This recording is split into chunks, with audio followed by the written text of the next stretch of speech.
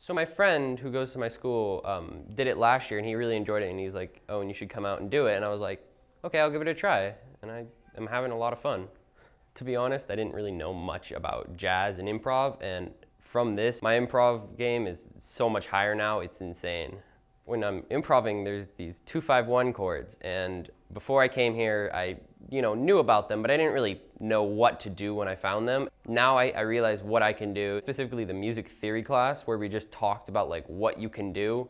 That really just opened up my head. And then right after that, we would go to the improv class and I would try to take the ideas from the music theory class that I just learned and apply them in my improv class, which I found that really helpful because I came from one and then just went straight and applied it to the next thing. The faculty is great and you will learn so much here. One-on-one or very focused on you interaction with the teachers, they really help show you the way that you should play and how you can be a better musician.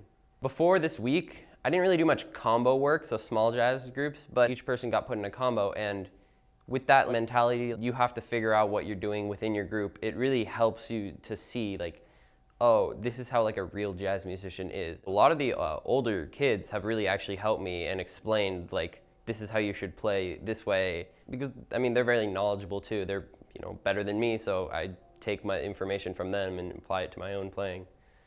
Before I started, I didn't really see myself as a super, super strong jazz player, but now I'm really seeing like, oh, I think I can understand this if I just put in time to focus on jazz and how I can play better.